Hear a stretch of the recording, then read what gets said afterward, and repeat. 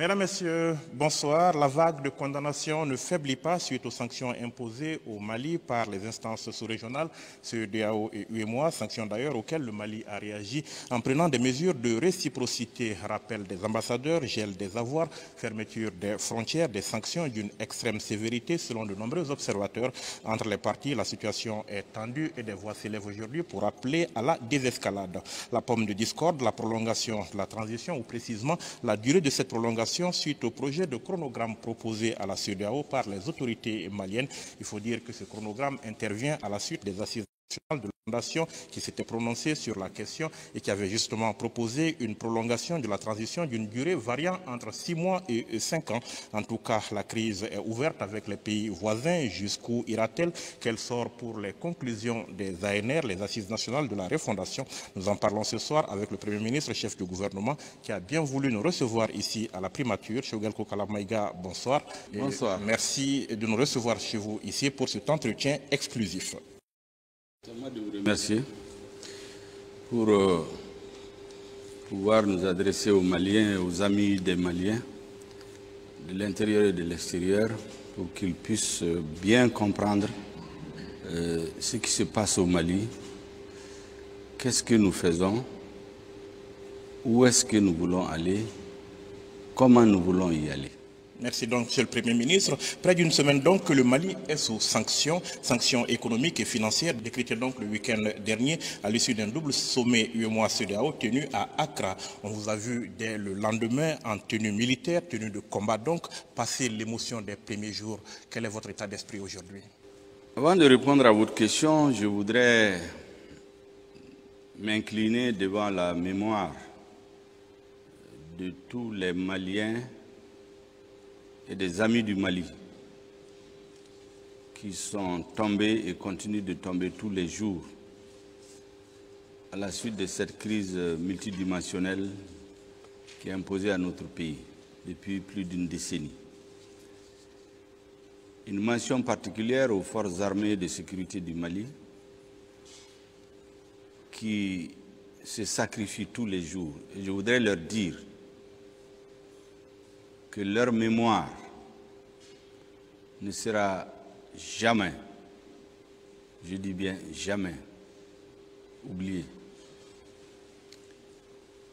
Notre pays vit une situation difficile, mais de laquelle nous allons sortir, je suis convaincu.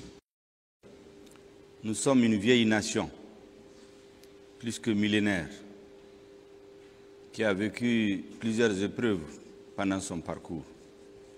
Et celle-là n'est qu'une de ces épreuves. Et comme toutes les grandes nations qui ont connu des périodes de déliquescence, de faillite dans leur histoire, mais qui se sont relevées, nous sommes convaincus que le peuple malien va se relever avec cette transition pour regarder droit vers l'avenir. L'état d'esprit, c'est donc aujourd'hui la combativité Absolument. Nous sommes dans un état d'esprit résolu, déterminé, confiant à l'avenir.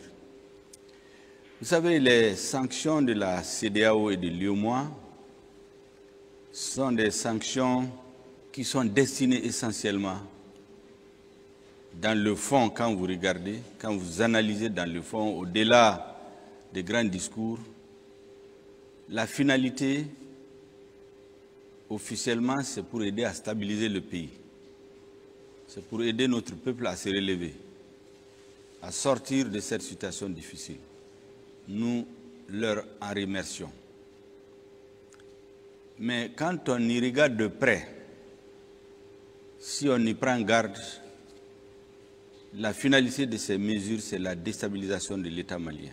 Il n'y a aucun doute si les mesures qui sont annoncées sont mises en œuvre, c'est pour déstabiliser notre État. Alors, vous avez rejeté ces sanctions que vous avez qualifiées d'illégales et illégitimes. Pourtant, ces instances sont habituées à décréter de telles mesures, en tout cas certaines d'entre elles, dans certaines circonstances. Qu'est-ce qui fait l'illégalité et l'illégitimité de ces mesures pour le Mali? Vous savez, la CDAO d'abord est née au Mali. J'ai l'habitude de le dire, en 1975. C'est à l'initiative du président du Mali et du président du Nigeria que l'idée a germé, partagé ensuite par l'ensemble des chefs d'État de la sous-région, dont le président Yadema, le président Séni Kounché, le président du Burkina, le président de la Guinée, le président du Sénégal et tous les autres pays, de la Côte d'Ivoire bien entendu, du Nigeria, du Ghana. C'est l'ensemble de ces pays qui se sont retrouvés pour mettre en place une organisation économique qui a évolué pour prendre des dimensions politiques. C'est pourquoi je dis que le Mali et la CEDEAO, c'est comme un fils et son père. Le vieux père aujourd'hui est malade, il est dans les difficultés. Ce qu'il attend de son fils, c'est de l'aider, le tenir par les mains pour qu'il puisse se lever. Depuis quelques années, il faut reconnaître que la CEDEAO fait de son mieux. Et je crois que cette passe que nous traversons, elle est difficile, mais nous allons nous en sortir. Mon intime conviction, c'est que comme un père et son fils ne se disputent, peuvent se disputer, mais ne peuvent pas se séparer, nous allons nous retrouver dans les semaines, les mois, peut-être les années à venir. L'UEMOA, c'est extraordinaire. C'est une organisation à caractère économique et financière. La jonction de ces deux sommets et la dureté des mesures qui ont été prises quand vous les comparez aux textes fondateurs de ces organisations, au protocole qui les fonde, vous vous rendrez très rapidement compte qu'en fait, il y a eu un abus de pouvoir. On a saisi l'état d'extrême faiblesse de l'État malien, dans lequel il s'est retrouvé à cause des considérations d'ordre géopolitique et des manques de leadership éclairé visionnaire, un manque de maturité stratégique qui a fait que des erreurs se sont accumulées et notre pays s'est trouvé à terre. Aujourd'hui, on est devenu le grand malade, j'allais dire la risée des pays de la sous-région et du monde. Certains pays, j'y reviendrai, se servent de la CDAO, c'est pourquoi nous avons dit dans notre euh, communiqué du gouvernement et de l'UEMOA pour en réalité régler d'autres comptes avec le gouvernement malien aujourd'hui. Ces mesures sont totalement illégales. Vous savez, euh, lorsque nous avons expliqué à la CDAO à plusieurs reprises, et j'y reviendrai, que la transition malienne, la situation au Mali doit être analysée avec discernement et non pas à partir des clichés établis depuis des années. Nous avons dit qu'il faut faire la part des choses. La situation est très très complexe au Mali. La transition au Mali est différente de toutes les autres transitions. Les conditions de survenue de cette transition, si nous ne les réglons pas, nous allons nous retrouver dans d'autres coups d'État. Ça fait plus de 3 à 4 coups d'État en moins de 30 ans. Il faut se poser les questions les résoudre définitivement.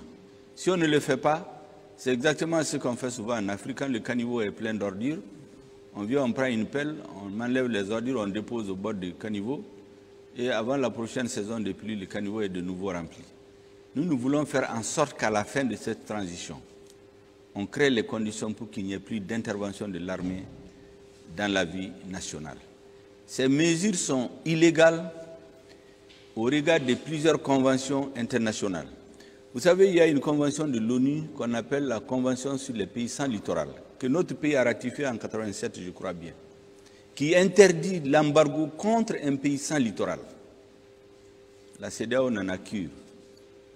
L'UEMOA s'est déporté à Accra en l'absence du Mali, qui a été invité à 48 heures sans qu'on lui dise l'ordre du jour. C'est-à-dire on traite le Mali comme un moins que rien, comme si ce n'est pas un État.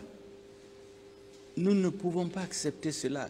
Quel que soit le dirigeant qui sera à la tête du Mali, il y a des formes d'humiliation qu'il ne peut pas accepter qu'on impose à notre peuple. Nous avons dit à l'UMA qu'on ne connaît pas l'ordre du jour de la réunion. Si on ne le communique pas, on ne peut pas aller à une réunion. On a mélangé les genres pour nous humilier. pour humilier notre peuple, pour fragiliser notre État, pour le déstabiliser. Mais en fait, tout le monde doit faire attention. Le Mali est victime aujourd'hui d'une situation dont il n'est pas responsable, en partie.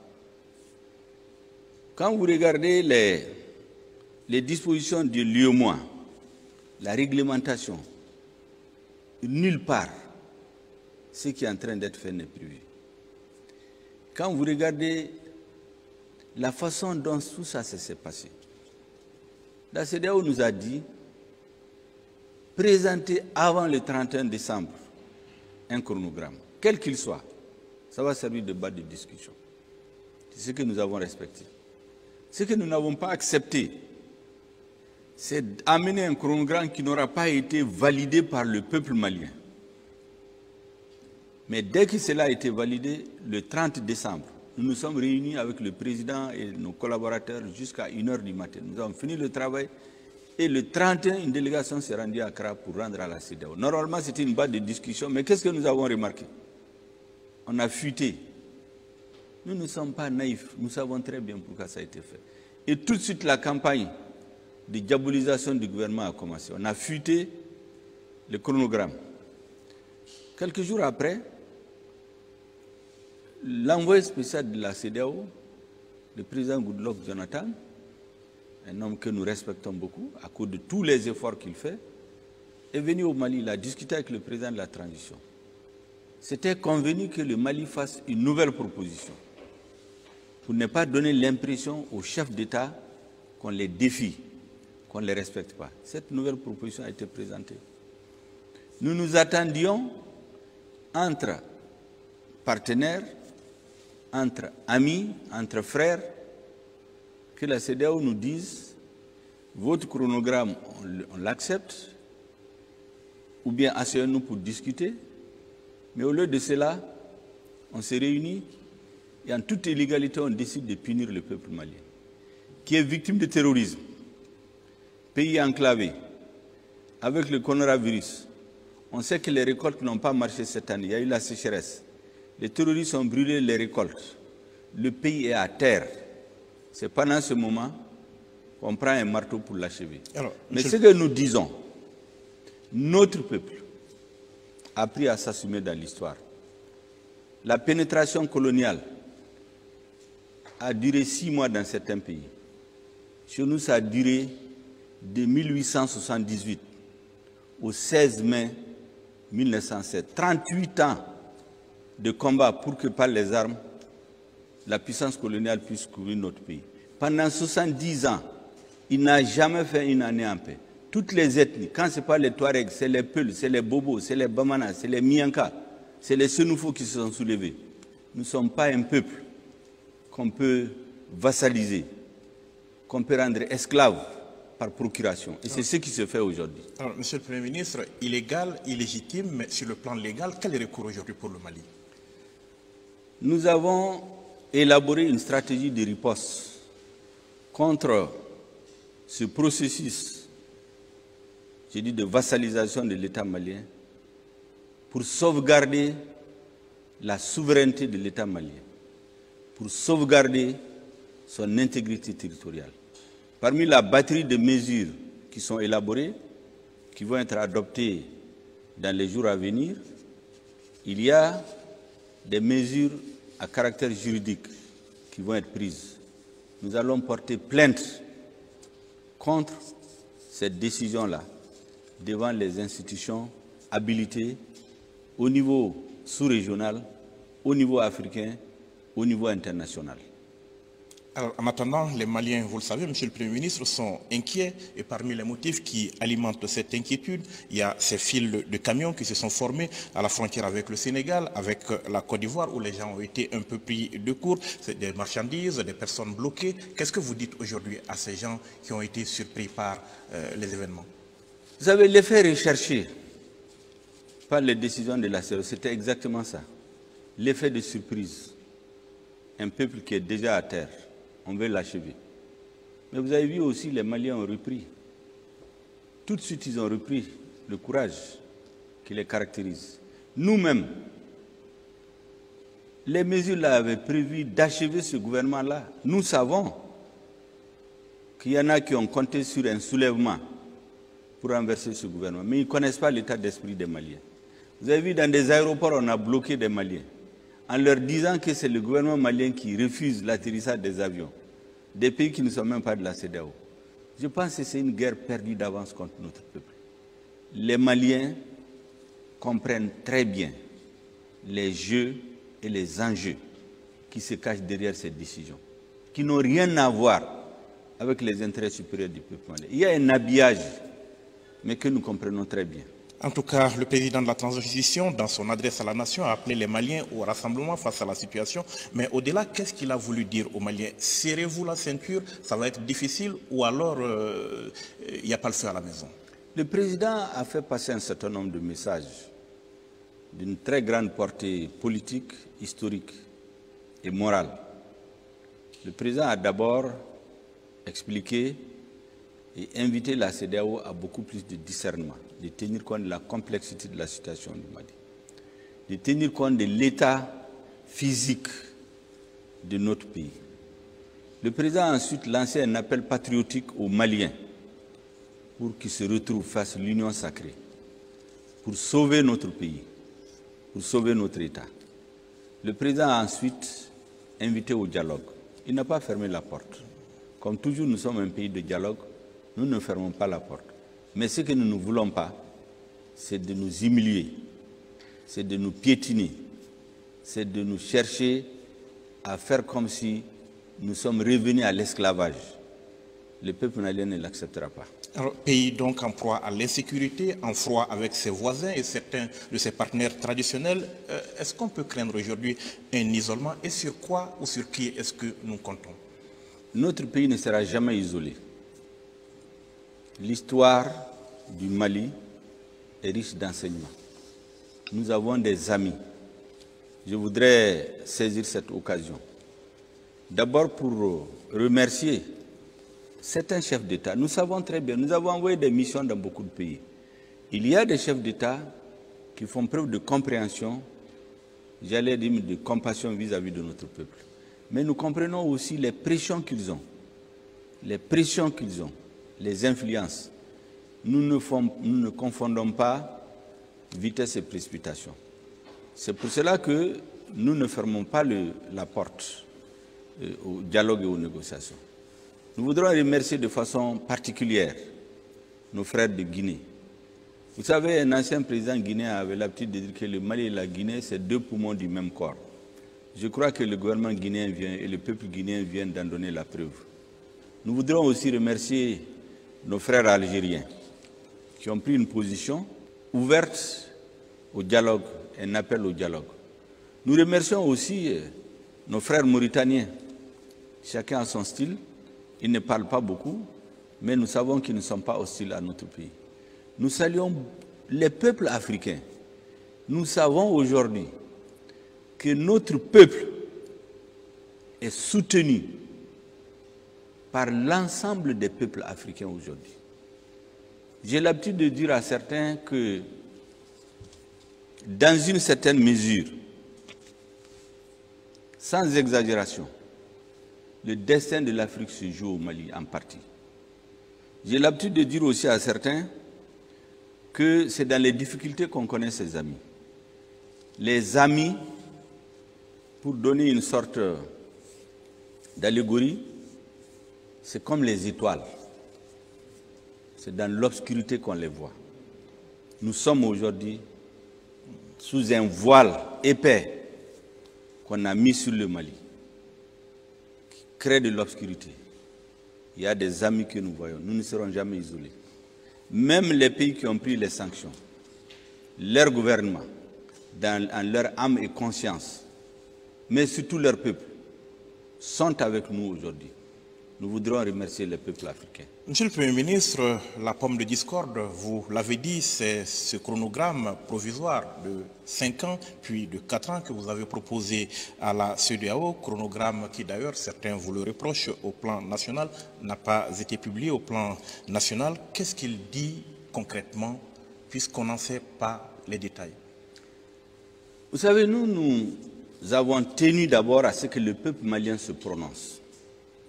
Les assises nationales de la refondation, qui ont été un grand lieu de débat, plus de 85 à 90 000 personnes ont participé, ont pris la parole pendant ce débat. C'est du jamais vu dans l'histoire du Mali. Toutes les forces politiques significatives, sans exception, sociales, religieuses, ont participé. La CDAO dit que ça n'a pas été inclusif. Il n'y a pas un seul parti dont les militaires n'ont pas participé à la base. On a vu un certain nombre de responsables politiques, je respecte leur comportement, leur opinion, mais à la base, vous allez voir dans les statistiques, parce que aux assises, tout a été transparent. Des présidents de partis, des maires, des présidents de section à la base ont présidé des séances des assises. Ils ont signé, ils ont donné le nom de leur parti. Et certains nous ont dit qu'ils ont dit à leur direction ici que pendant qu'ils parlent d'élection, dans leur localité, on ne peut pas parler d'élection aujourd'hui. C'est ce qu'ils appellent souvent euh, des responsables coupés de la réalité. Ensuite, quand vous regardez, quand la CEDO dit que ça n'a pas été inclusif, personne donne la parole à un certain nombre de personnes dans certains médias internationaux. Mais les, partis réellement représentatifs, est-ce que vous avez entendu les dirigeants parler? La plupart de ceux à qui on donne la parole, moi je les respecte, mais sur le plan politique, combien d'élus ils ont? Il y en a qui n'ont pas un élu. Ils ont un récipicé, mais ils sont toujours dans les médias internationaux. Chaque fois qu'on veut jeter l'opprobre sur le Mali, c'est vers eux qu'on court pour donner le. Donc les assises ont été inclusives. Et le gouvernement a dit qu'il attend que le peuple malien se prononce. Le peuple s'est prononcé. Et nous avons pris ce sur quoi le peuple s'est prononcé pour le décliner en un chronogramme pratique. Maintenant, il faut que j'insiste sur ça et que les Maliens le comprennent et les amis du Mali. Une transition n'est pas une fin en soi. Une élection n'est pas une fin en soi.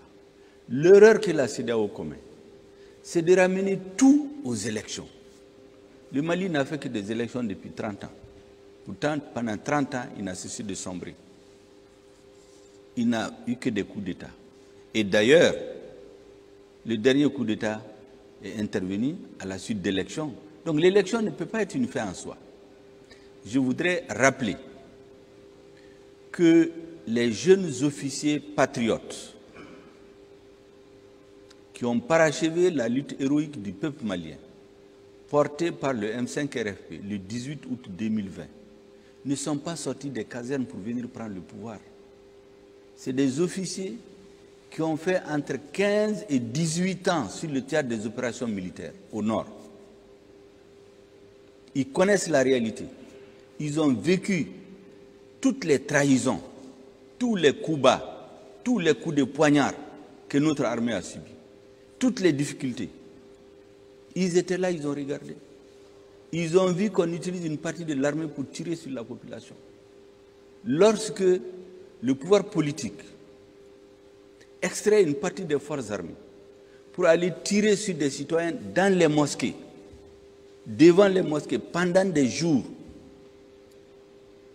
le peuple a continué sa lutte pendant des mois, a laissé sur le champ de bataille des morts et des blessés. La CEDAO était où en ce moment? On a rencontré les dirigeants de la CEDAO. C'est moi qui dirigeais les délégations. C'est d'ailleurs pour cela qu'il paraît qu'à chaque euh, réunion, il y en a qui viennent qui disent que pour que ça se calme au Mali, il faut que le président change de Premier ministre. Mais le président, c'est lui qui choisit son Premier ministre, ce n'est pas d'autres chefs d'État. Nous leur avons dit en son temps, on ne peut pas comprendre qu'un pouvoir dit démocratiquement élu tire sur sa population, tue des citoyens, et vous dites qu'il faut qu'il reste. La CEDEAO nous a dit en son temps qu'il ne peut pas demander la démission d'un président. Mais que si le peuple prend ses responsabilités, ils en prennent acte. Si le président démissionne, ils en prennent acte. Mais c'est ce qui s'est passé au Mali. Le peuple a pris ses responsabilités. Le président a démissionné. Mais si ça s'est arrivé, c'est arrivé pourquoi? Voici le clou du débat. La transition est survenue à partir des demandes précises du peuple. Il y a des transitions qui surviennent parce que Le chef de l'État a disparu, la Constitution a prévu de faire une transition pour le remplacer. Il y a une transition qui peut survenir parce que le président a violé les lois, il y a une procédure d'impeachment ou un soulèvement qui le fait partir. Il y a des transitions qui sont arrivées parce qu'il y a des crises économiques et financières. Mais chez nous, la transition est survenue pour cinq raisons.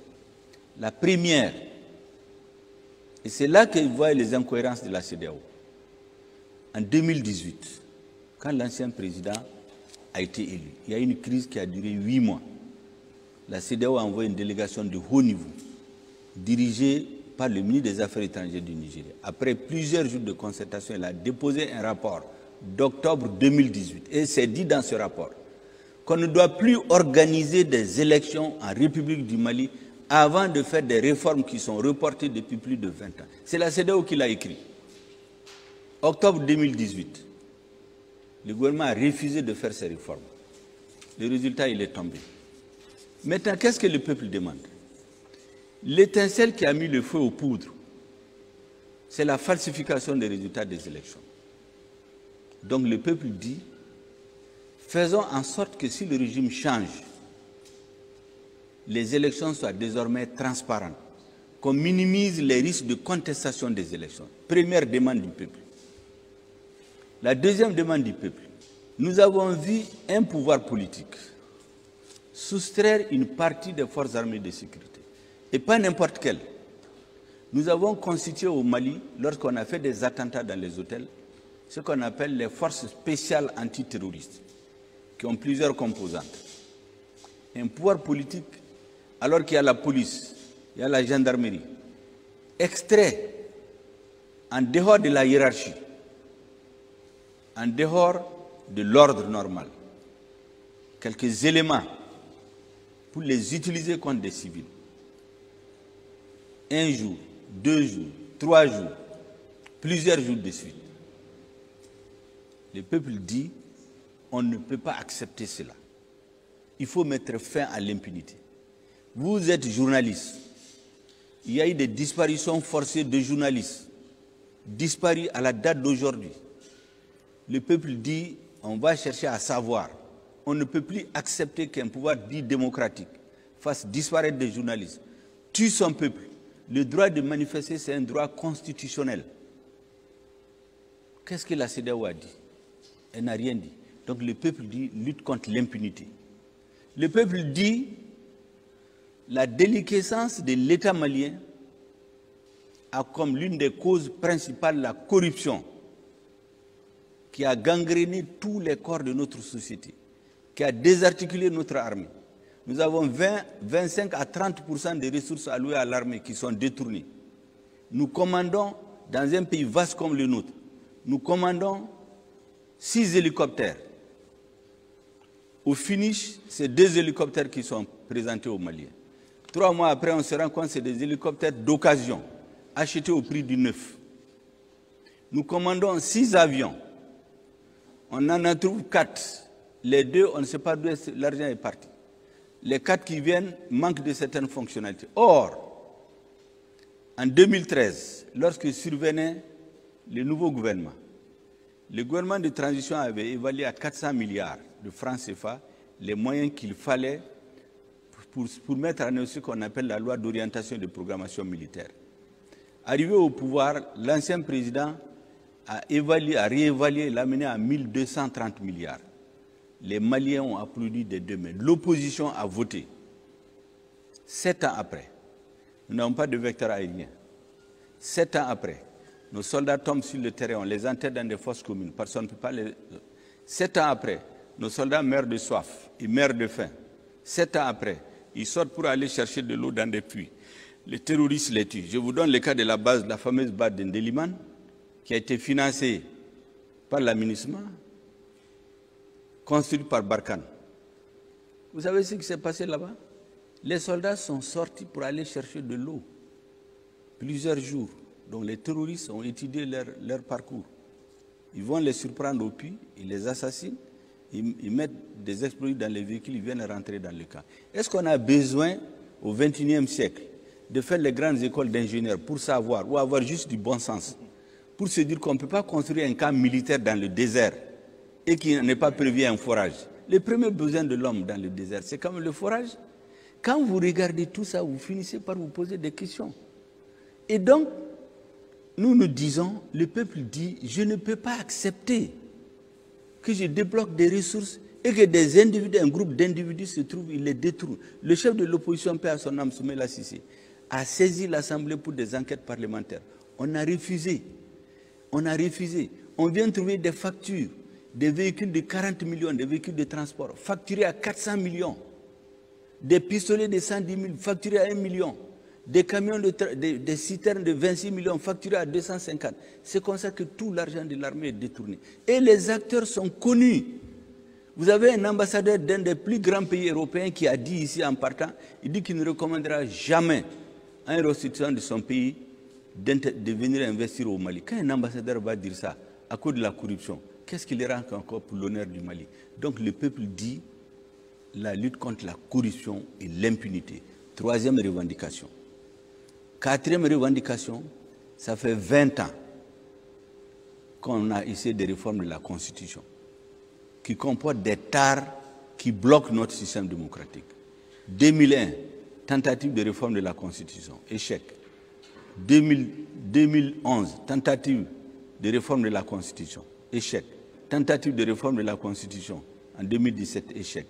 Et qu'est-ce qu'on a remarqué? Chacun des présidents fait ses 10 ans, alors même qu'il sait que le peuple veut, veut des changements. Il attend à quelques mois de la fin de son mandat pour vouloir modifier la Constitution. Donc il est soupçonné de tripatouillage comme ça se fait dans certains pays. Donc nous, le peuple dit, si le gouvernement change, il faut qu'on fasse les réformes politiques et institutionnelles une bonne fois par un gouvernement de transition. Et enfin, le peuple dit, l'outil de défense a été désarticulé, a été détruit. Il faut restaurer la sécurité des Maliens avant d'aller aux élections. En 2013, lorsqu'un gouvernement démocratiquement élu, comme il l'appelle le gouvernement légitime, l'insécurité était à Kidal, sept ans après. Alors que vous avez Barkhane, Takuba, G5 Sahel, ECAP, EUTM, l'armée malienne, l'insécurité s'étend comme une gangrène dans le pays, atteint 80% pendant qu'il était en place un gouvernement dit démocratiquement élu. Ça veut dire quoi? Ça veut dire que le fait d'être élu ne vous donne pas droit de vie et de mort sur les citoyens. Le premier élément de légitimation d'un pouvoir, pour ceux qui connaissent l'histoire de la constitution des États, c'est la capacité de l'État à assurer la sécurité des personnes et des biens.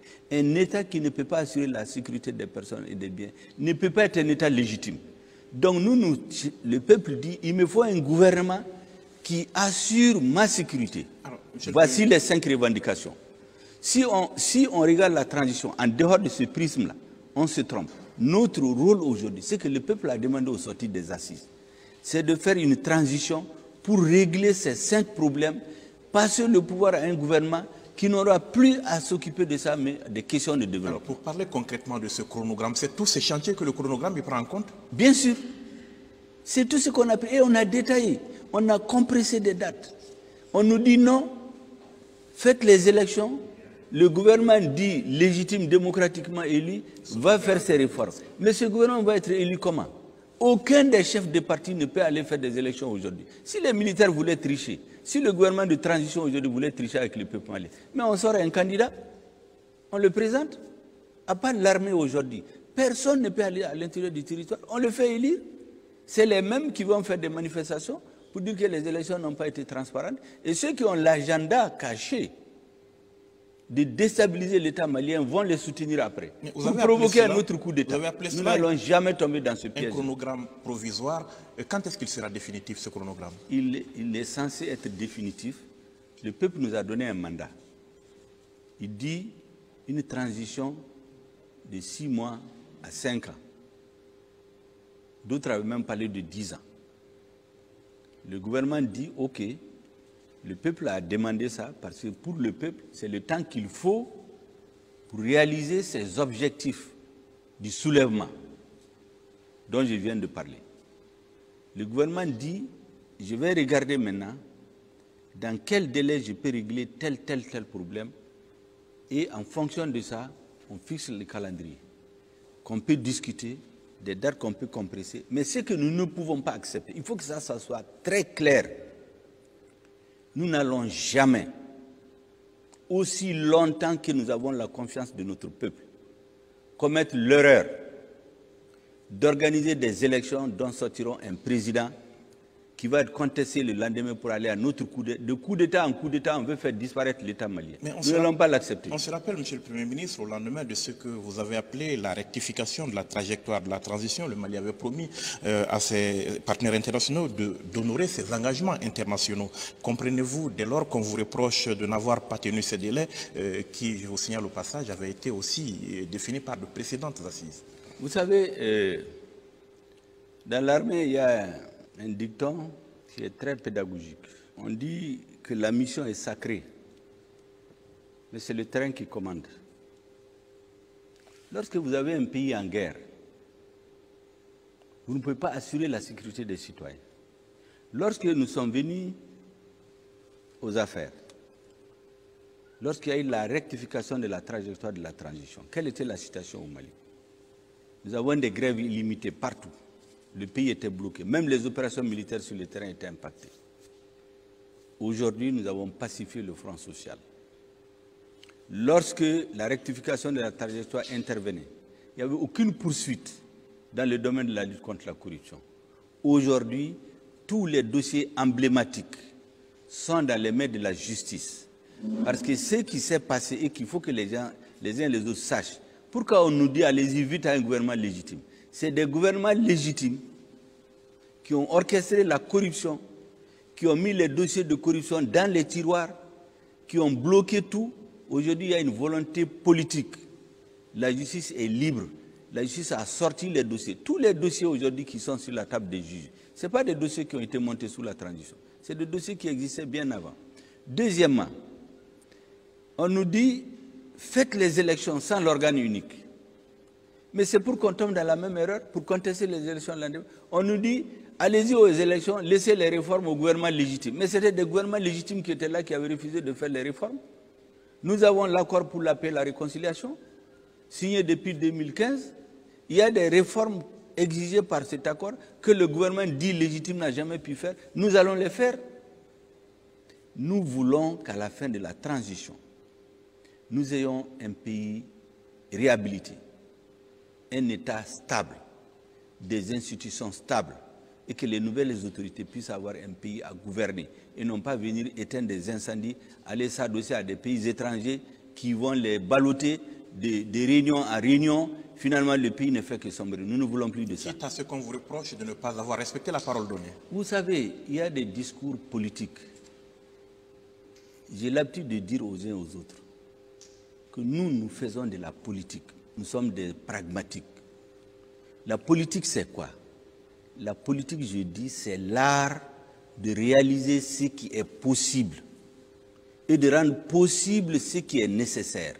Ce qui est nécessaire aujourd'hui, c'est de restaurer la dignité du peuple malien, sa sécurité, son indépendance. Ce qui est, nécessaire. Ce qui est possible, c'est de se donner le temps d'organiser une transition responsable.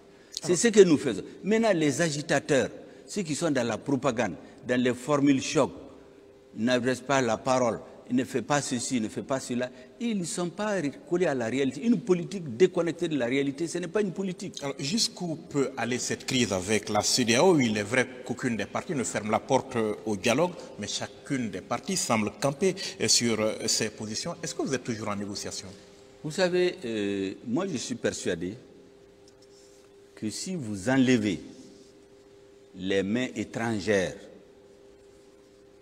les influences étrangères qui ont un autre agenda, si vous enlevez ces influences, entre nous Africains, on va se comprendre. Deuxièmement, le Mali, dans sa constitution, dans toutes ses constitutions, dit qu'il est prêt à céder tout ou partie de sa souveraineté pour réaliser l'unité africaine. C'est pourquoi vous allez voir toutes les organisations sous-régionales qui, sont en Afrique, ou régionales, le Mali fait partie des fondateurs. Mieux, vous croyez que c'est pour rien que lorsque l'Afrique a voulu s'organiser pour se libérer du colonialisme, c'est au Mali qu'on a tenu le, grand congrès du RDA. Ce n'est pas par hasard? Les principaux leaders du RDA, comme vous faites Bogny, ce n'est pas des Soudanais? Le Mali est une terre de dignité. C'est une terre qui a une longue histoire. C'est une terre dans laquelle l'Afrique se reconnaît. Et c'est pourquoi je dis, le combat du Mali aujourd'hui, tous les peuples le soutiennent parce que ça redonne l'espoir. L'espoir de pouvoir s'assumer, de dire non quand ce n'est pas bon pour notre pays, de dire oui librement quand c'est bon. Quand, quand c'est bon. C'est ça, qui, c'est, ça le véritable enjeu. Alors certains vous demandent aujourd'hui de sortir de l'UEMOA, de sortir de la CEDEAO. Est-ce que la question est quelque part à l'ordre du jour? C'est une question qui fait partie des mesures de riposte sur le long terme.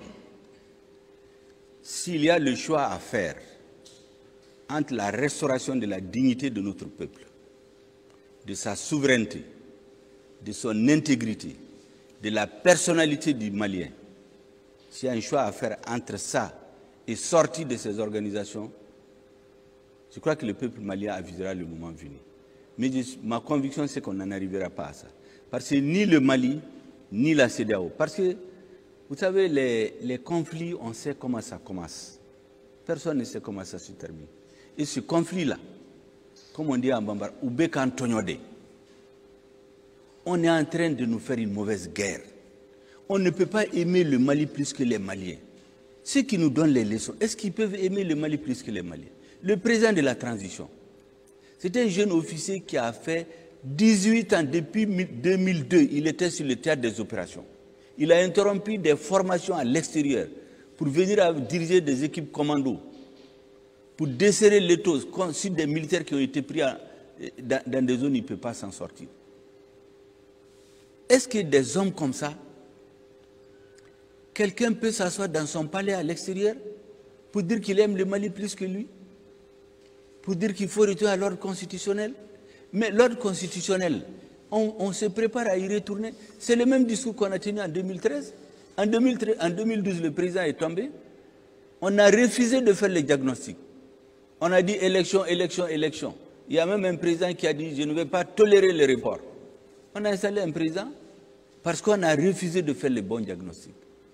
En 2018, disons, quand la CEDEAO a déposé son rapport, elle a fait le diagnostic, le président a refusé, mais nous ne voulons plus tomber dans ça. Alors, vous avez parlé de cette CEDEAO sous influence extérieure dans le communiqué d'ailleurs que le gouvernement a publié pour condamner les sanctions. Vous avez regretté que, je cite, des organisations sous-régionales ouest-africaines se fassent instrumentaliser par des puissances extra-régionales au dessein inavoué. Êtes-vous en train de dire que la CEDEAO est à la solde de quelqu'un? Si oui, de qui? Je ne dis pas qu'elle est à la solde de quelqu'un, mais ces décisions sont manifestement influencées par des prises de position extra-africaines. Vous savez, on a besoin un peu de rafraîchir les mémoires des uns et des autres.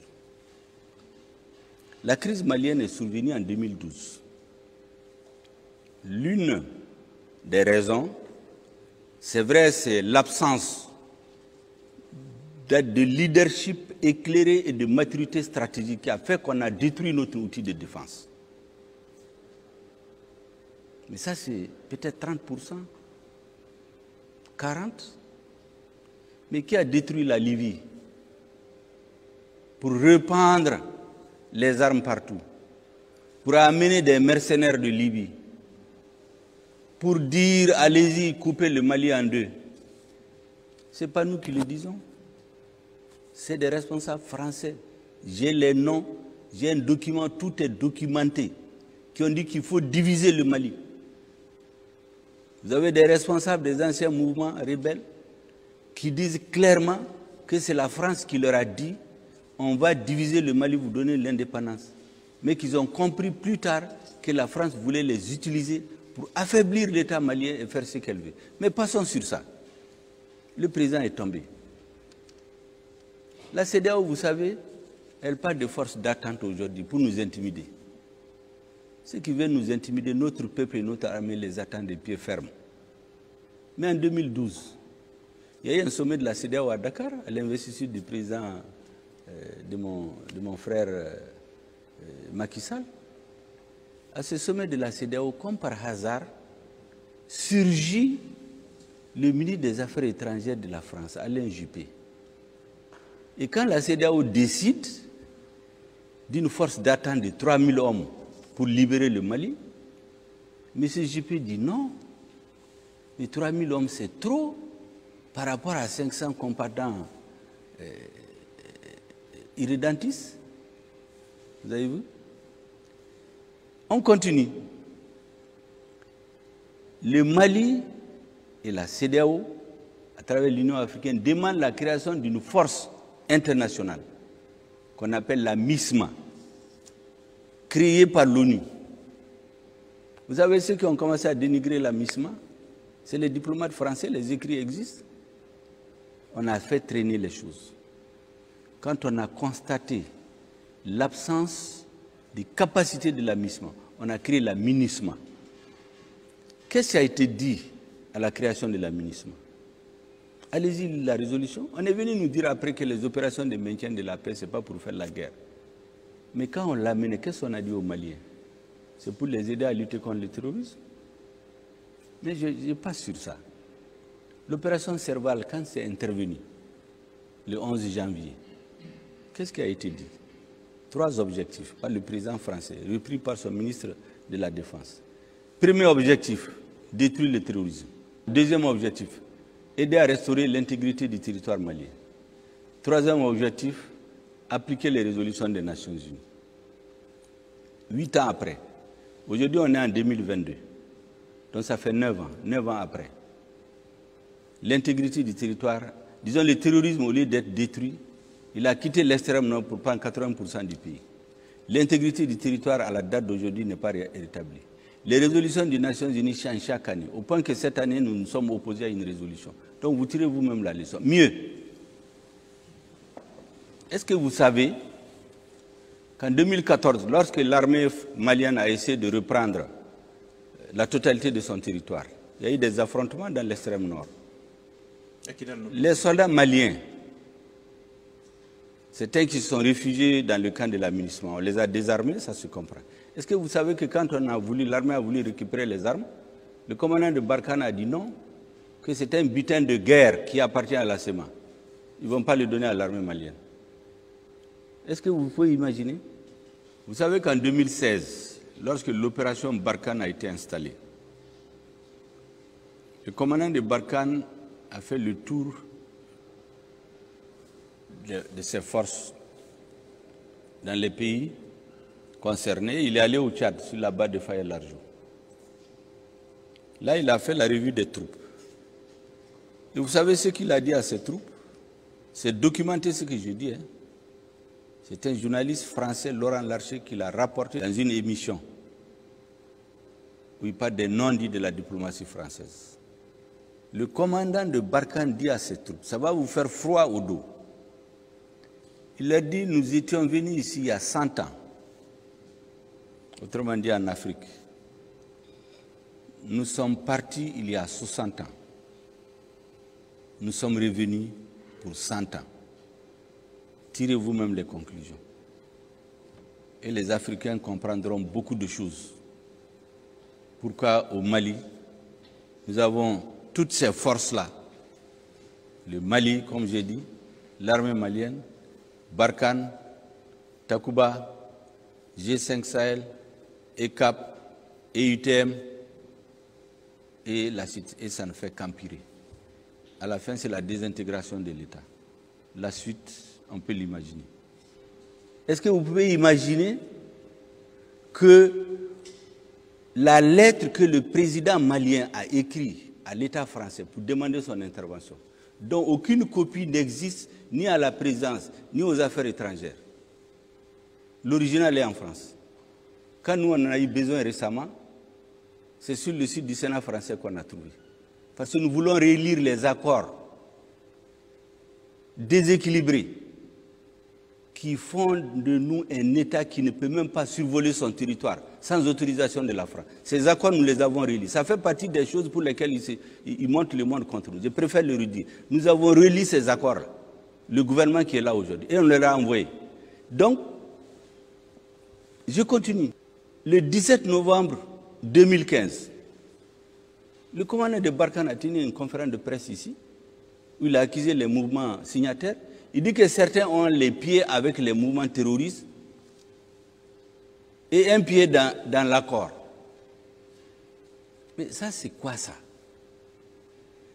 La lettre qui a été envoyée à l'État français le 11 janvier 2013 indique clairement appui aérien et en renseignement. Il n'était pas prévu des militaires français sur notre terre.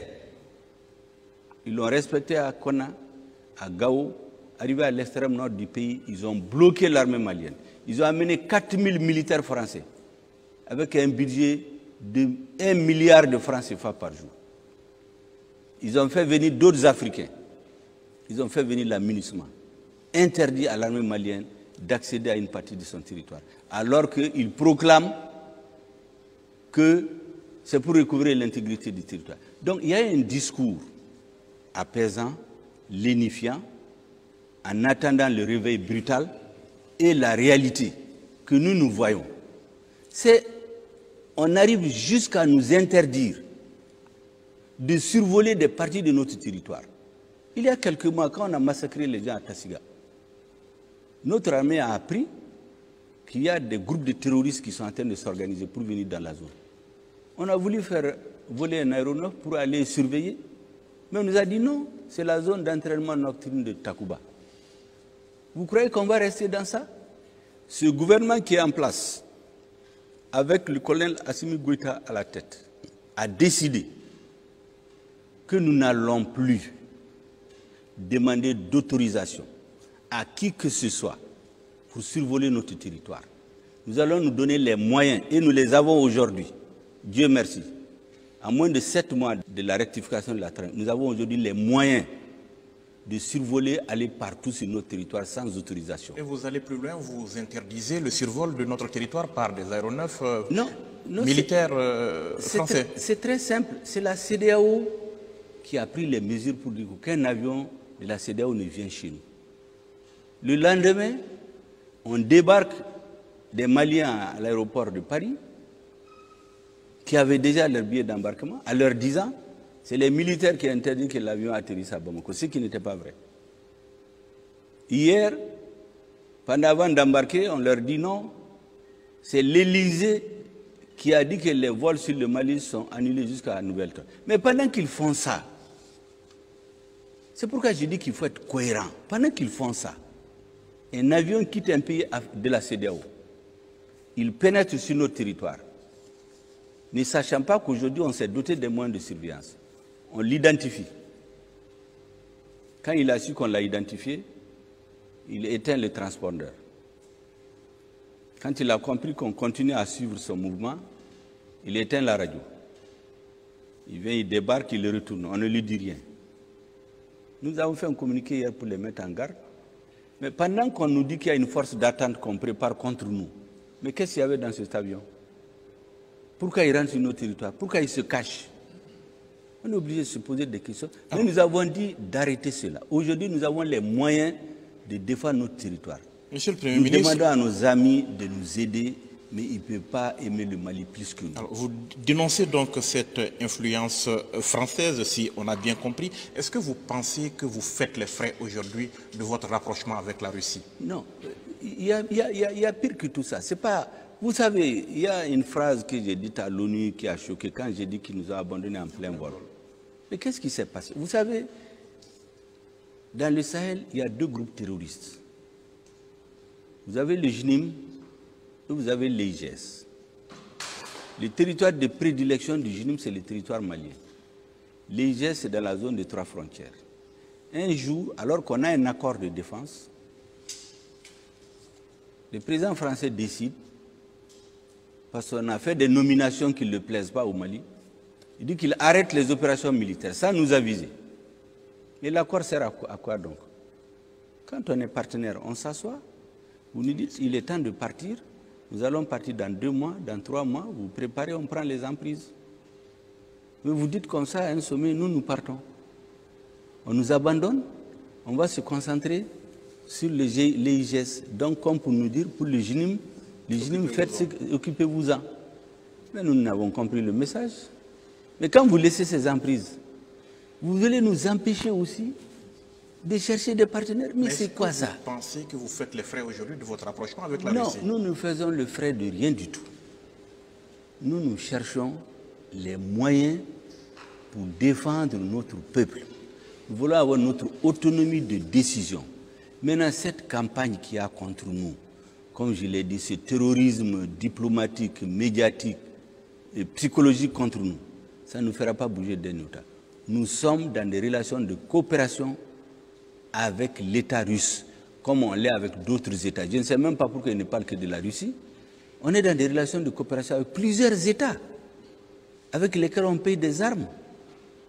Mais ce que nous ne comprenons pas au niveau de la CEDEAO, et je vais vous dire pourquoi souvent on parle d'intérêts étrangers. Lorsque cette histoire euh, de ce qu'ils appellent Wagner, entre parenthèses, est sortie, ceux qui l'ont sorti, ils ont dit d'abord c'est des rumeurs. Ensuite, ils ont dit c'est la presse. Mais certains d'entre eux sont venus nous demander est-ce que c'est vrai? On a donné des explications. C'est un pays européen, c'est un pays américain. Aucun chef d'État africain n'a appelé notre président, n'a envoyé quelqu'un ici. Ils se sont limités à ce que la presse d'un autre pays dit pour organiser un sommet, pour prendre des résolutions sur des rumeurs véhiculées par les ministres d'un autre pays, par la presse d'un autre pays. Qu'est-ce que ça leur coûtait de téléphoner au président, d'envoyer des émissaires pour en savoir plus? Qu'est-ce que ça leur coûtait? Mais ça rentrait dans une stratégie de diabolisation du Mali, aller jusqu'à la tribune de l'ONU, mettre dans les discours des chefs d'État quelque chose dont vous n'êtes pas sûr. Même celui qui vous a mis ça dans la bouche dit c'est des rumeurs. Vous partez inscrire à l'ordre du jour d'un sommet où ce n'était même pas prévu. C'est à 3 heures du sommet qu'on a inscrit le Mali à l'ordre du jour. C'est un sommet sur la Guinée.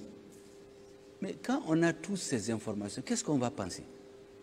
Mais les Occidentaux persistent et signent. Vous utilisez des mercenaires de Wagner, vous avez démenti, mais quelques semaines après votre démenti, qu'est-ce que vous avez à dire aujourd'hui? Vous savez, moi j'ai envie, envie, de répondre à certains que la guerre psychologique, là, nous, ça ne peut pas nous perturber. L'intoxication, l'intimidation ne peut pas nous perturber. Ce qu'on nous demande, comme disaient les Africains, Cabri mort là, que tu les mets au frigo ou bien tu les laisses en putréfaction, ça change quoi? Il est déjà mort. Notre pays est occupé par les terroristes. Comme dit un grand homme d'État chinois, le chat, qu'il soit gris ou noir, pourvu qu'il attrape la souris, c'est Deng Xiaoping qui le dit. Nous, nous cherchons un partenaire pour libérer notre pays. Nous sommes tournés vers notre partenaire historique en matière de défense. Les 80% de nos officiers ont été formés en Russie. Les 80% de nos équipements avant le démantèlement de notre, de notre armée étaient formés en Russie. Nous nous sommes retournés vers la Russie, qui est un vieil ami, qui nous a tendu, tendu la main, et d'autres pays que je ne veux pas citer parce que, comme ils ne veulent pas parler, ils ne veulent parler que de la Russie. Mais ils se mettent à crier. Donc, nous, nous devons rester. Tous les jours, on tue des centaines de Maliens dans les villages. On prend des résolutions sans nous. La dernière résolution, on amène une résolution à l'ONU pour décider de 2200 militaires supplémentaires de l'aménagement. On n'a pas vu le projet, on n'a pas discuté, on ne sait pas quel contingent vient là-dedans, à quelle fin il vient, ils vont être où? Tout cela parce que le Mali est devenu un État vassal. Nous avons dit à l'ONU, à notre ambassadeur, de dire non. Lorsque nos frères tchadiens récemment, quand les Français ont décidé d'abandonner les emprises au nord, nos frères tchadiens nous ont dit qu'ils ont besoin d'augmenter de 2000 hommes, leurs hommes pour mieux se sécuriser. Mais on a réglé sur une base bilatérale. Il n'y a pas eu de problème. Donc, ce qu'on veut faire du Mali, les dirigeants qui sont à la tête du Mali aujourd'hui ne sont pas de cette agence-là. Ce n'est pas des hommes qui sont heureux d'être qu'on les tape sur les épaules, qu'on les donne des satisfecits, des bons démocrates, des bons dirigeants, d'aller faire la nuit dans des hôtels à 6 000, 10 000 euros la nuit en Europe. Ce pas ces hommes-là. ceux qui sont au pouvoir, c'est des patriotes dont certains ont risqué leur vie pendant des années. Nous voulons restaurer la dignité, l'indépendance, la souveraineté, la fierté du peuple malien et parlé, des Africains. C'est tout. Vous avez parlé de l'ONU, Monsieur le Premier ministre, réunion du Conseil euh, de sécurité ces derniers jours, le Conseil qui est apparu divisé sur la question du Mali. Est-ce de bon ou de mauvais augure pour nous? Je voudrais saisir votre question pour remercier de façon particulière la Russie et la Chine, deux pays amis qui de toutes les façons ont toujours été aux côtés du Mali dès le lendemain de son indépendance. Tous les moyens que l'État malien a eu en son temps pour affirmer sa souveraineté, son indépendance économique, militaire, diplomatique, il les avait acquis, entre autres, dans le cadre de la coopération chinoise et russe. Je voudrais donc les remercier encore de façon particulière pour ce soutien à notre peuple. Vous savez, le Conseil, de toute façon, il y a des débats à caractère idéologique et géostratégique. C'est des débats auxquels on est habitué. Lorsque certains pays portent des résolutions, d'autres les soutiennent systématiquement. Vous avez vu, euh, il y a quelques fois quand même où les gens ne, se comprennent pas. Par exemple, dans cette histoire euh, qu'ils appellent Wagner. Mais les Américains ont eu la courtoisie d'envoyer parler avec nous. Nous leur avons donné nos explications. Ont-ils été convaincus ou non, c'est autre chose. Mais les voisins qui sont là, ils n'ont pas eu ça. Les, quand on massacre des villages, 30, 40 personnes, vous avez ce qu'ils appellent les forces internationales, qui sont stationnées à moins de 10 km, pendant des heures et ne font rien. Et si on a des hélicoptères, on veut survoler pour aller, il faut qu'on demande l'autorisation. Mais on va rester dans ça, mais non, on est sorti de ça. Aujourd'hui, nous avons les capacités de projection et de destruction des terroristes.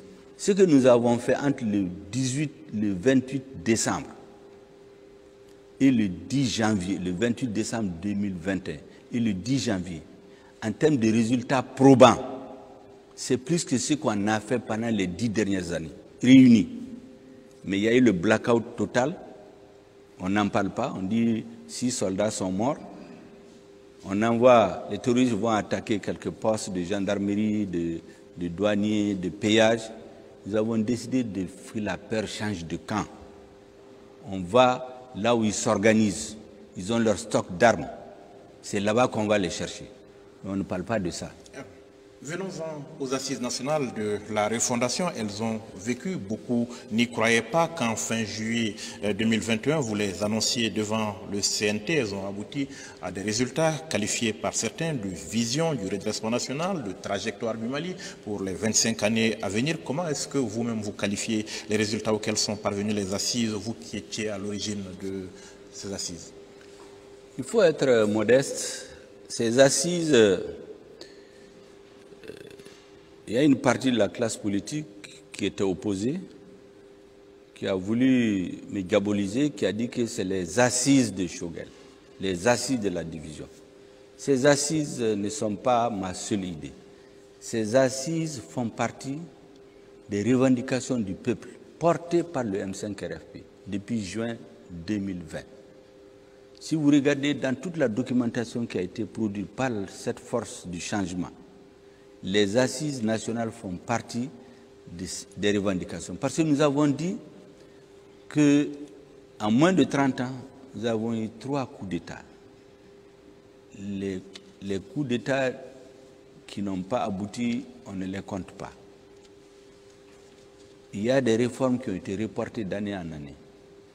Donc depuis le début de cette lutte, ça a été inscrit qu'il faut faire des réformes politiques et institutionnelles pour que tout le monde comprenne le sens de les réformes. Il fallait aller vers tous les Maliens. C'est comme ça que les assises ont été inscrites dans l'agenda du gouvernement. Et ces assises, vous dites qu'elles sont historiques, elles sont fondamentales, elles sont essentielles, elles sont vitales pour la reconstruction de notre pays, pour la refondation de l'État malien, pour la réhabilitation et le redressement de la nation malienne. C'est tout ce que je peux dire. Et aujourd'hui, à la différence des autres forums, tous les Maliens ont participé. Même dans les lieux où il y a le terrorisme, les populations ont participé au, débat. Maintenant, l'autre caractéristique, c'est que nous nous sommes imposés l'obligation de rendre exécutoire les résultats des assises. Tous les forums qu'il y a eu par le passé, les résultats ont été mis dans les tiroirs. Cette fois-ci, dès que le rapport va être déposé, ils ont jusqu'à fin janvier, le chef de l'État va mettre en place un comité de suivi. Les assises vont devenir la balise à partir de laquelle le gouvernement de transition va travailler. Et nous espérons que les futurs gouvernements qui viendront iront dans ce sens. Parce que tous les problèmes de la nation ont été diagnostiqués avec des propositions concrètes. Mais est-ce que la part de chantier de la transition a été clairement déterminée dans ce vaste chantier euh, défini sur une génération comme Bien sûr, été lorsque nous disons, en tout cas, le panel de hautes personnalités qui a conduit les assises et les participants ont dit que c'est sur une génération, nous n'avons jamais dit à quelqu'un que nous voulons rester 25 ans au pouvoir. Euh, N'est-ce pas? Et Donc, clairement, pour nous, il y a des choses à faire. Ce que nous voulons faire, nous ne voulons pas faire comme les gens le font d'habitude en Afrique. Il y en a qui organisent les révolutions. Quand ils prennent le pouvoir, ceux qui ont été dans la rue là, ils les oublient. Ceux qui sont morts sont morts. Après, ils commencent à faire ce qu'eux-mêmes veulent. Après, c'est la déception. Il y en a qui font des élections. Ils se font élire sur la base d'un programme. Une fois qu'ils s'installent, ils mettent leur cours, leur famille autour d'eux, ils mettent tout au calendrier. Nous avons dit non. Nous, nous avons cinq revendications portées par le peuple. La restauration de la sécurité sur l'ensemble du territoire. La lutte contre la corruption et l'impunité. Organiser des élections de manière à minimiser les risques de contestation des élections. Opérer les réformes politiques et institutionnelles. Et vous avez vu que les assises ont demandé de réécrire la Constitution pour faire une nouvelle Constitution. Enfin, met- mettre en œuvre de façon intelligente l'accord pour la paix et la réconciliation de manière à exclure toute possibilité de partition du Mali à moyen ou long terme. Voici. Nous voulons créer les conditions pour rendre ce processus-là irréversible. Et le temps que nous avons proposé à la CEDAO, c'est le temps nécessaire pour implémenter ces réformes voulues par le peuple. Dans les négociations, on aurait pu nous envoyer des experts, on allait discuter. Peut-être qu'il y a des experts qui peuvent nous dire non. Là vous avez demandé 5 ans, il faut peut-être 4 ans. Il y a des choses que vous avez prévues sur un an, on peut les faire en 8 mois. On se serait entendu.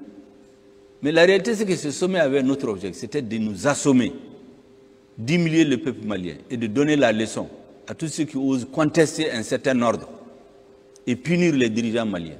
C'était destiné à ça. Alors pour revenir aux ANR, les assises sont donc terminées. Il reste la question du suivi et de l'évaluation avec euh, le comité donc qui doit être théoriquement mis en place. À quoi est-ce que cela pourrait ressembler? Pour faire quoi concrètement? La mise en œuvre, je ne voudrais pas anticiper parce que c'est le chef de l'État qui va mettre en place cette équipe. Il va désigner des personnes. Je préfère attendre ce moment-là pour verser euh, mes idées dans le débat. Alors pour terminer sur la crise donc avec la CEDEAO, un pays ami, l'Algérie se propose aujourd'hui, se porte volontaire pour rapprocher les positions. Est-ce que vous êtes ouvert à de telles initiatives? Mais bien entendu, la CDAO nous aurait dit qu'ils enverraient des émissaires. On ne les aurait jamais fermé le territoire. D'ailleurs, comme je vous ai dit, quand notre première délégation est partie, le 30, le 31, la délégation n'était pas partie pour négocier. La délégation était partie par respect pour les chefs d'État pour donner une proposition de chronogramme. Parce que c'est ce que la CEDEAO nous avait demandé. La dernière mission de la CEDEAO ici, dirigée par le président en exercice, ensuite dirigée par le- le- l'envoyé spécial, ils nous ont dit donner un chronogramme. C'est ce qu'on a fait. La délégation n'était pas partie pour négocier. Il y a plusieurs membres de la délégation au cas où ils poseraient des questions. Il a dit qu'il va se référer aux autres. Mais il y a eu des chefs d'État qui ont été bienveillants, qui ont écouté nos délégations, qui ont cherché à comprendre, qui ont débattu avec eux, qui ont dit qu'ils ont compris. D'autres nous ont dit franchement, bon, les cinq ans, nous pensons que c'est trop. Proposer autre chose.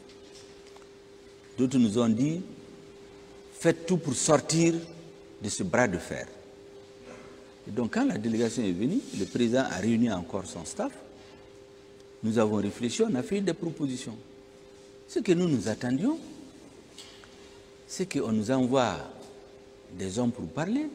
Mais vous savez, même si nous avions pris six mois, ils allaient dire c'est le 27 février ou rien. Parce qu'il y avait un autre agenda tracé déjà. vous savez, il y a un ministre qui a annoncé d'ailleurs que la CEDEAO va prendre des sanctions le 12 décembre. Ça s'est passé. Ensuite, la CEDEAO va prendre des sanctions le 31. Ça s'est passé. Moi, je pense qu'il faut qu'ils respectent au moins les chefs d'État de la CEDEAO. On ne peut pas annoncer à l'avance dans des médias ce que les dirigeants de la CEDEAO doivent faire. Même eux, ils doivent dire à, ces messieurs-là d'arrêter, de, les faire passer. Parce que moi, je sais que les chefs d'État de la CEDEAO, pour lesquels moi j'ai le plus grand respect, parce que ce processus-là, je suis convaincu que si c'est la CEDEAO qui l'avait maîtrisé dès le départ, comme il l'avait voulu, avec la force d'attente, dès décembre 2012, on aurait trouvé une solution. Donc, pour nous, la CEDAO reste une organisation frère.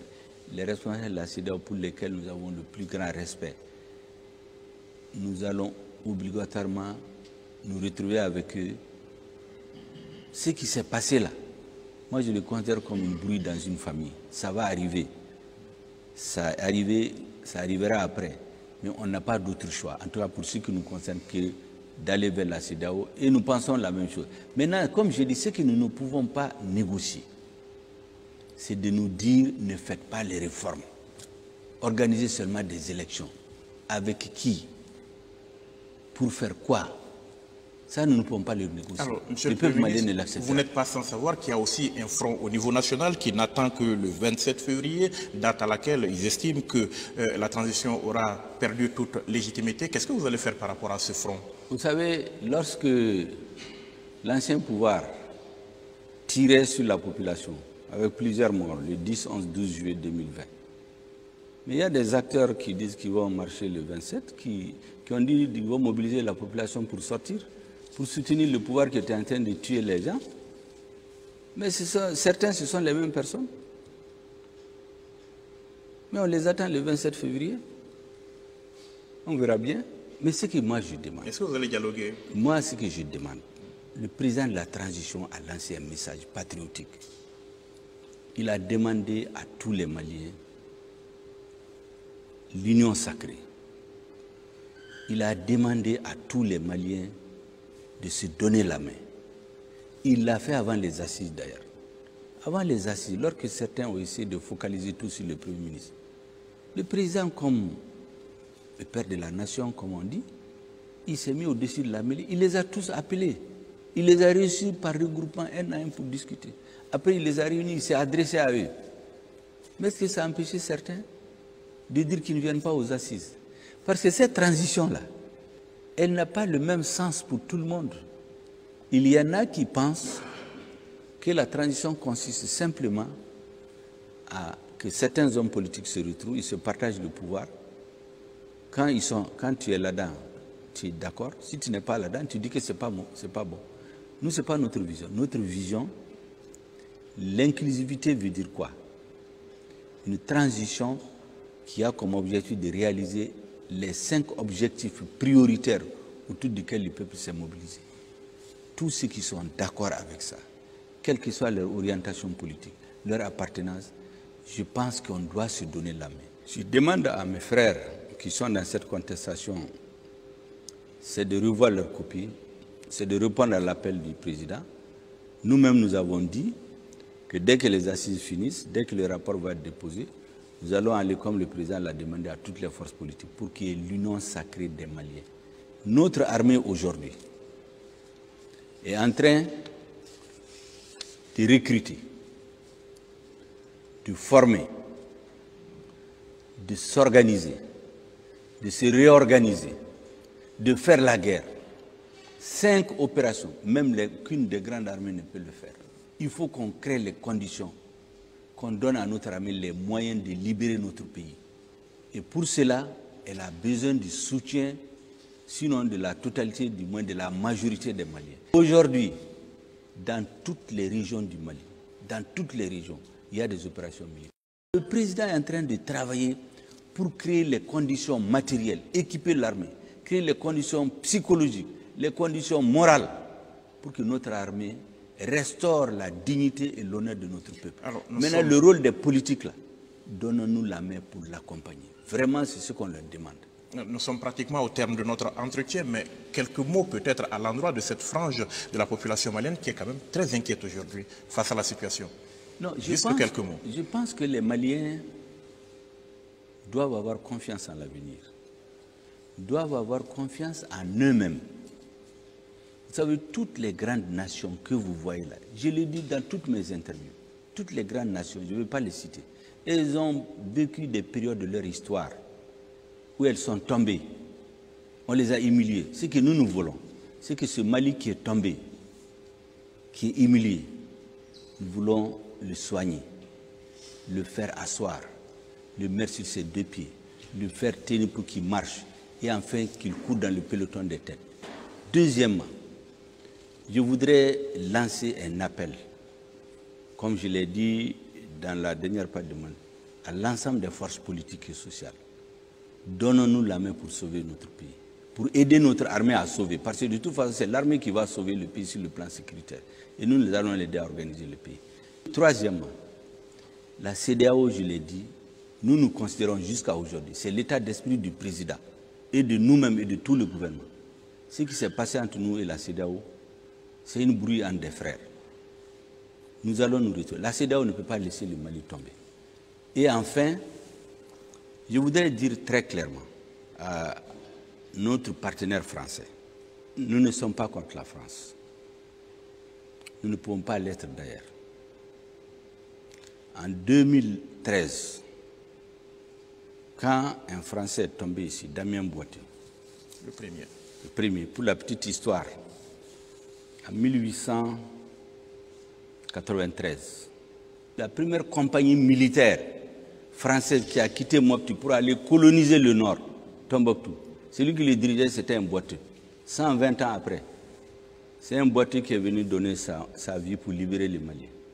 Quand François Hollande était venu ici, il a dit que c'est le plus beau jour de sa vie politique. Ce jour-là, les Maliens ont tourné la page de tous les contentieux qu'ils avaient et la France. Parce qu'il a dit ce jour-là que des Maliens se sont sacrifiés pour la France. Donc eux aussi payent une dette. Donc nous aussi, nous ne sommes pas un peuple d'ingrats. Les Français qui sont morts ici, nous n'allons jamais les oublier. Les Africains qui sont morts de la CDAO, c'est ça qui nous oblige d'ailleurs ces Sénégalais, ces Togolais, ces Guinéens, ces Ivoiriens, ces Burkinabés, ces Nigériens qui sont morts, d'autres qui ne sont même pas du continent africain. Notre peuple ne peut pas les oublier. Mais ce que nous demandons, qu'on nous respecte, qu'on n'apporte pas atteinte à notre dignité, qu'on ne nous insulte pas, qu'on ne nous empêche pas d'assurer la souveraineté de notre État. En France, en dehors de la communauté algérienne, la communauté la plus importante, ce sont les Maliens. Leur poids dans notre économie est plus important que l'aide française dans notre économie. Ils vivent en France, ils sont nourris, logés, ils travaillent, ils ont leur famille, ils sont des Français. Vous croyez qu'un gouvernement de gens responsables va se mettre contre ce pays? Nous ne le sommes pas. Mais il faut que les dirigeants français se disent que les époques ont changé que les interlocuteurs à la tête du Mali ont changé, que le Mali n'est pas comme certains pays. Il ne faut pas qu'ils se trompent d'époque, d'interlocuteurs et de pays. Pour le reste, nous sommes, c'est pourquoi j'avais dit, la France et le Mali, c'est des vieux amis. Il peut y avoir des scènes de ménage, mais on va se retrouver. Je suis sûr que cette bruit-là, elle va passer. C'est ce que nous, nous pensons en tout cas. Avec les Africains, nous ne doutons même pas avec la CIDAO. Voilà ce Et les Maliens, ayez confiance en l'avenir. Ayez confiance en vous-même. La principale force d'une nation, c'est de croire à son propre génie, de croire à sa capacité de s'assumer. Et toute l'Afrique nous regarde. Ne décevons pas l'Afrique. Merci, Monsieur le Premier ministre, d'avoir répondu à nos questions. Merci beaucoup. Merci. Merci, Mesdames, Messieurs, de nous avoir suivis. C'était là un entretien spécial avec le Premier ministre, chef du gouvernement, Shogel Kokala Maïga, dans la foulée euh, des ANR, les Assises nationales de la refondation et des sanctions prises par la CEDEAO à l'encontre de notre pays. Merci donc d'avoir été avec nous.